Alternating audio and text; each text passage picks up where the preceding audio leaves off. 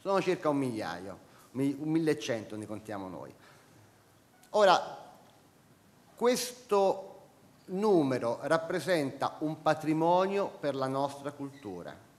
Più editori ci sono in un determinato contesto sociale, maggiore pluralismo è garantito alla libertà di espressione.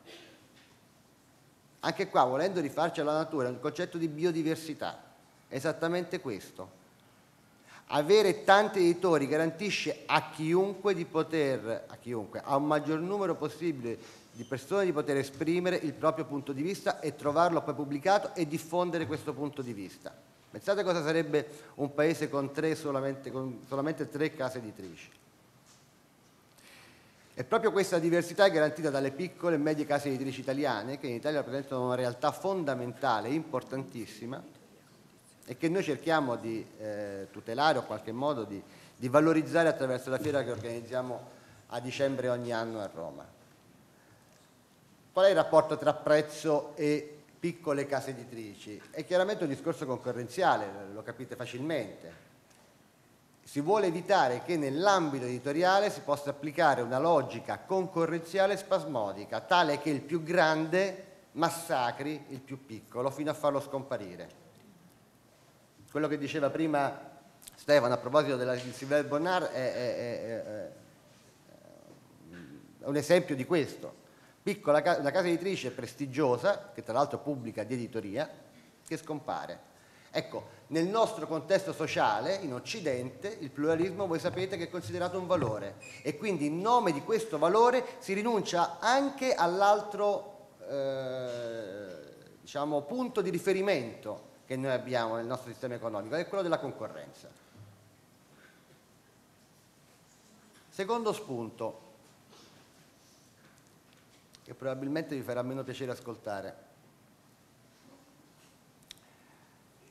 Noi abbiamo detto che non sappiamo cosa c'è tra autore e, e, prodotto. Allora, a mio avviso, questa mancanza di consapevolezza di quello che c'è in mezzo genera un problema enorme, genera la mancanza di attribuzione di valore a tutto quello che c'è in mezzo non si conosce, non si percepisce qual è la catena del valore, chi è che lavora, che cosa fa là in mezzo, perché quel libro ha quel valore.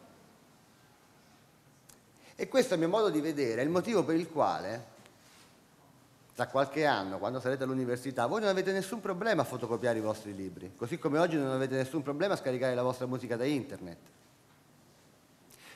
Mentre invece sicuramente vi fareste molti problemi andare a rubare un motorino per strada o a levare il portafoglio dalla tasca di qualcuno. Questo chiaramente è responsabilità vostra fino a un certo punto, perché se chi vi sta intorno non vi dà, la società non vi dà la consapevolezza di quello che è il valore, è chiaro che manca la percezione dell'illecito. Ecco, capendo quali sono i lavori, le professionalità, l'impegno di chi sta in mezzo tra l'autore e il libro, io sono certo che voi acquisirete maggiore consapevolezza di quello che è il lavoro dell'editore e il valore del libro stesso. Non, non mi illudo che non fotografierete i libri all'università, però secondo me lo farete con maggiore senso di responsabilità, quello che fate. Voglio fare un esempio per essere più chiaro. Eh, alcuni di voi hanno, collaborano a questo progetto scrivendo delle, delle, brevi, delle brevi storie che poi verranno pubblicate. Io mi chiedo cosa pensereste se qualcuno lucrasse sulle opere che sono, su queste opere che sono state prodotte da voi. Cioè se qualcuno guadagnasse dei soldi sulle vostre opere dell'ingegno.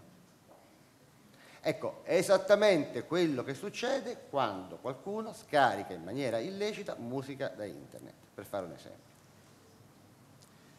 Pensateci. Come pensate a, a, a un ultimo aspetto interessante secondo me, ho qua bisogno del, del microfono quello perché volevo farvi vedere. Allora, questo è il baratro di cui vi parlavo. In Italia si legge poco, noi siamo al penultimo in Europa per lettura nel nostro paese. Solamente 44 italiani su 100 hanno letto almeno un libro nell'ultimo anno. La cosa cambia chiaramente a secondo dell'età.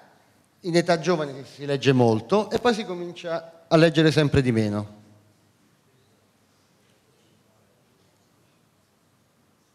Voi state tra i 17 e i 19 anni, quindi avete un tasso di lettura molto alto.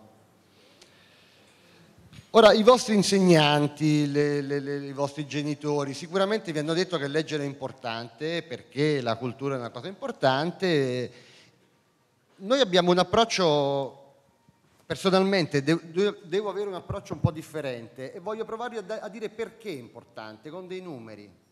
Eh, Considerate che io, noi, mh, non devo spiegarlo solo a voi, ma molto spesso devo spiegarlo anche alle istituzioni con le quali dialoghiamo quotidianamente, non certo l'assessore Croppi, ma altre sì. Uh, in Italia per la promozione della lettura si fa molto poco, ne sa qualcosa la, la, dottoressa Cristiano, che si trova a dover lavorare sulla promozione senza avere risorse economiche. Noi quindi dialoghiamo con le istituzioni e gli diciamo che devono investire di più sulla promozione della lettura cioè bisogna aiutare gli italiani a leggere di più. Dopodiché a un certo punto, che, rendendoci conto che non ci ascoltavano, abbiamo provato a fare un passo indietro, dico, abbiamo detto proviamo a spiegargli perché bisogna leggere di più, perché forse non è così scontato. Abbiamo chiesto a degli economisti di fare un'analisi del rapporto tra lettura e sviluppo economico del paese, perché poi quando si parla di soldi e di sviluppo economico ci si sente sempre un po' di più. Sapete cosa è venuto fuori? È venuto fuori una cosa banale, che laddove si legge di più lo sviluppo economico è più alto, ma attenzione, il rapporto non è si legge di più perché il paese è più ricco.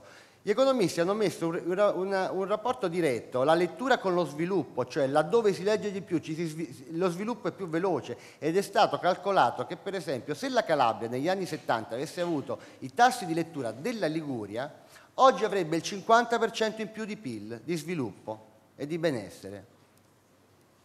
Questo è il perché. E c'è anche un dato che vi riguarda molto da vicino e che riguarda il rapporto che c'è tra studenti e libri. Attenzione, neanche lettura in questo caso, la lettura in diretta è libri. C'è una statistica della Banca d'Italia, che è una delle più prestigiose istituzioni economiche che fa anche statistiche su queste cose, che mette in relazione il rendimento scolastico con i libri che si hanno a casa quindi con la biblioteca scolastica.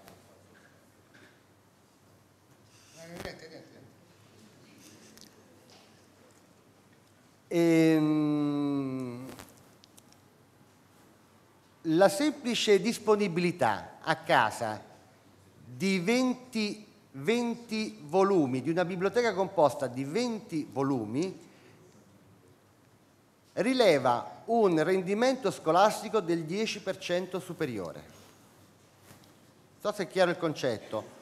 Vuol dire che con 20 libri in più a casa, statisticamente, chiaramente parlando, un'insufficienza di 5,5 diventa 6.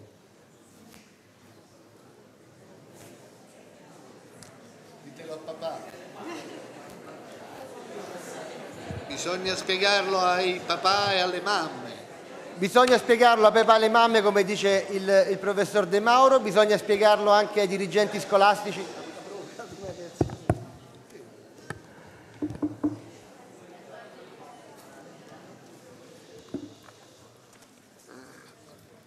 Ecco, ehm, bisogna spiegarlo anche ai dirigenti scolastici per quanto riguarda le biblioteche scolastiche, perché chiaramente laddove mancassero a casa la biblioteca scolastica potrebbe sopperire a questa mancanza. Però, ripeto, voi, in questo caso siete voi a decidere, voi siete lì su in questo momento. Da oggi comincerete a leggere sempre di meno e a leggere di meno vorrà dire qualcosa nel vostro futuro. Tenetelo presente. Grazie.